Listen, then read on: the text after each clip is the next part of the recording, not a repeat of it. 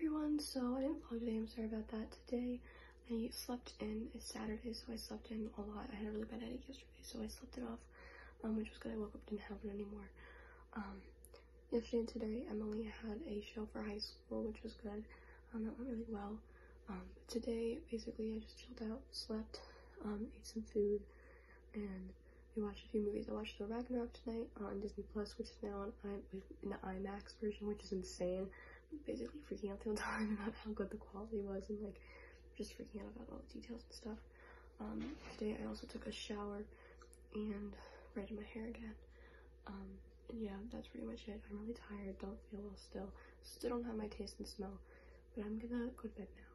So yeah, that's pretty much it. Um, very chill day, very relaxed day, just trying to rest to get better. Um, yeah, I still feel like I just have really bad seasonal allergies. I obviously can't taste and smell. Luckily today I didn't get a headache, which was good. Um, but that's pretty much it. So I'm gonna go now and go to sleep. So yeah, I hope you all had a good day. I did not have a good day. I'll see you tomorrow. Bye. Good night from Isabel.